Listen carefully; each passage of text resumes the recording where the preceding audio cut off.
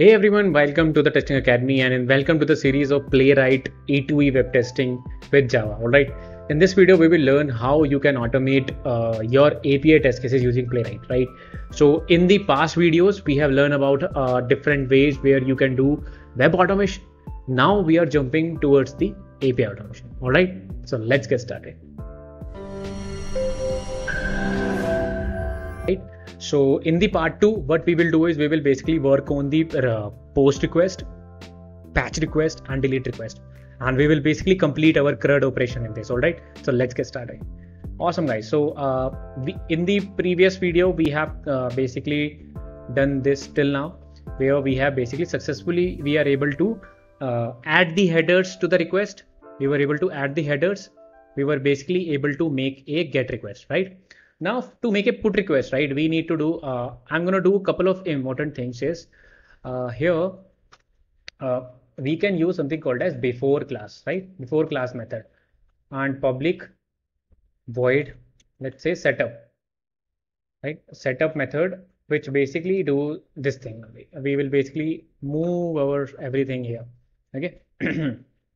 And we can move uh, this part also this part actually yeah I think we can do that. Okay. So here what I have done is generic headers and uh, API request uh, which is basically where we have mentioned only about the base URL headers. I move it to the setup method. Now uh, we will create another thing which is after class. Right? After doing this what we need is uh, we need a public method public void method let's say tear down so tear down is basically it will run in the end and we will basically dispose anything. Cool. So we have modified our test case little bit in this case. So the first request was, was the get request, right? Now uh, what we will do is we will basically do a post request. Okay. So post request, let's jump to the first of all uh, to the postman. To create a post request, we need to use post method first and we need to use the same URL right? So that is fine. But we need to pass there's something called as body, right? If you see, we need to pass body where we have only two keys and value we need to pass. How you can pass that, right? So to pass something, uh, we will again do, we will basically create a map, okay, of string and string, right? And this will be our payload. Let's say it's a payload that we are sending, okay? Payload of comments okay. Now we will basically say it's a hash map and that's it right? So in the payload put first of all what is the first key we have? Body. So we will say okay body. Now i'm saying uh, that uh, that this comment will be this is a command from post call okay? And i'm going to use a shortcut control d to basically enter the post id so post id can be anything but uh, let's say I'm gonna add by default one only, right? Now I want to make a request. So to make a request, we, we're gonna use this and we will use post, right? It will basically ask me where URL. The first thing is asking me URL. Tell me the URL where you need to send this. Okay, so I'll say I'll uh, I'll use the same thing comments. So comments, okay, and it's asking for string. Okay, wait a second uh, my hand computer hand. Awesome so we are back. So we have a payload ready right? So here what we need is we need to send something called as request dot create right? And we need to set the data. What data i want to set? I want to set payload right? That's it. So we have given the url we have given the payload and everything is already done for us. So that thing uh, what we can do is uh, in the similar thing that we have done it right? For get one we have basically got use something called as status right? Here what we will do is we will basically get an uh, response. So response. And here I'm gonna type uh, this thing right? Dot I can say text. If you say we have a text available, right? Uh, this will return a. I hope so. It returns a string. uh, yes okay so you can click on this icon uh, you can see that it's a string uh, this is also a url url url map hash map and bytes so you know which what is they are returning so okay so we have a response so let's do one thing let's print out the response first response. Okay. Uh, so two things we will do. Uh, will i'm just uh, commenting the get request as of now. I'll just do a put request. Okay. Click on this and run. Uh, let me make myself smaller. And let's see. So setup is running.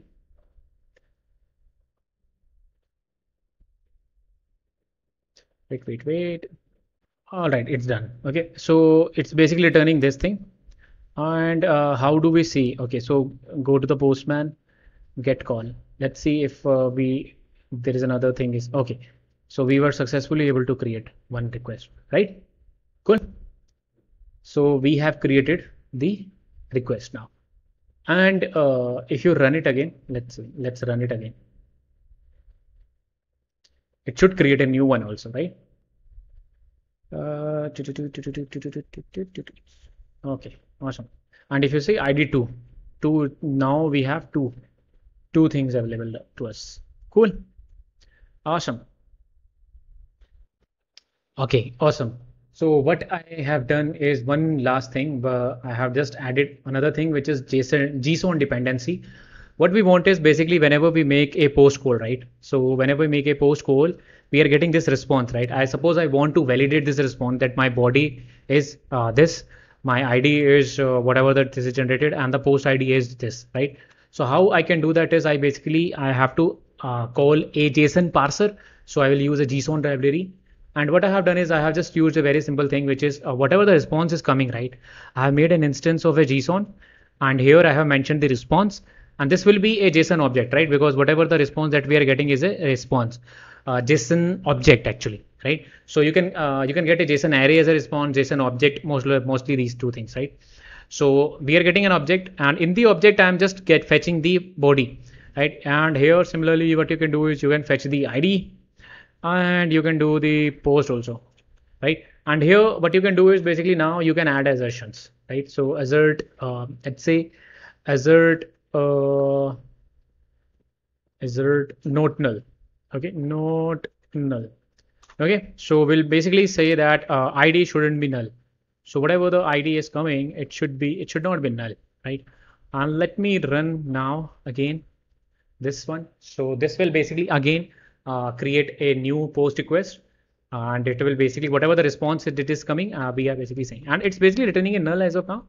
It's uh, so fine. So uh, if you see we are getting this and oh it's a post id actually. That's why okay so it's a post id that's why. And here our, our assertion is passing and uh, we can basically see the report also. Uh, click on this click on this icon and it will basically open a chrome for you guys and it will basically give you the response right? So yeah our test case are passing and uh, get call verification is passing. So we have named it as a get call but actually it's a get and post. So let's say it's a now let's say it's a crud call. Okay so uh, we have successfully done uh, the thing. So we have a get call, we have post call, right? Similarly, if you want to update something, you can make it like a put call also. The endpoint, only the endpoint will change. Okay. So let's do one thing. So whatever which is coming, right? Now let me modify this in a bit.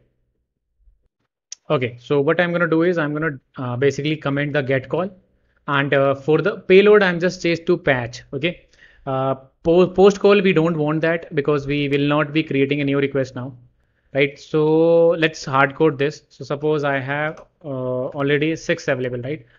Uh, here I can check that. How I can check that is get call. Here, okay, so we have already, right? So every, uh, I think ID 6 is already available. So ID 6, uh, so URL for patch, only the URL will change and the payload. So payload I have changed, right? So it should change to patch now. So right now, if you see the sixth one is post, right? So it should change after this. And here, uh, there are a couple of verification now, uh, which is from the JSON. So JSON one is returning. So that's why I will just verify, modify these things and let's run it again. So existing request, we are just making a patch request. That's it. right similarly you can use a delete request also so method uh, only method you need to change and for delete you don't have to pass any kind of a payload so that's fine so here if you see uh, everything works fine. And uh, here right? So awesome. So our uh, patch call works fine now. And similarly if you want to delete you just need to to delete. And uh, you don't have to mention any payload but if you mention it it doesn't matter actually. And here uh, it will just delete it. And this will fail because our id will be null in this case. So this test case will fail actually.